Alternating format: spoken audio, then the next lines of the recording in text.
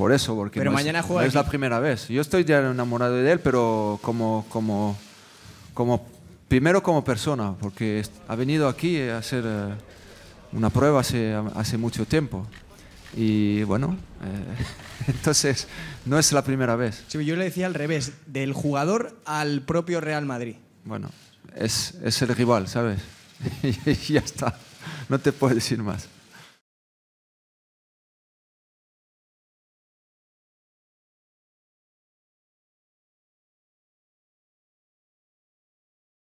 I think the next uh,